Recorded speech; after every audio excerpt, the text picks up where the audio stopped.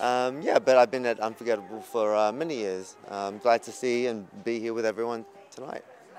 So, what brought you here tonight? Uh, how do you? Uh, what, what is your? Uh, are you a guest supporter or? Uh, so I am presenting uh, Best Actor in Film award uh, to Justin Chon uh, tonight for uh, Blue Bayou. Did you meet with the crew already? Um, we've been talking about the. You mean the crew here? Yeah, about yeah about presenting. Yeah.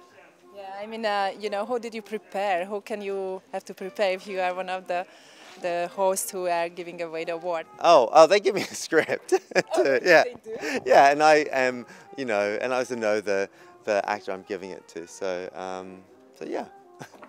All right, let's just talk about your projects right now. Okay, so what are you working on now? And uh, Uh, so I'm on a new show called Maggie on ABC, uh, or you'll see it on Disney around the world. Um, and yeah, that, that's what I'm filming right now.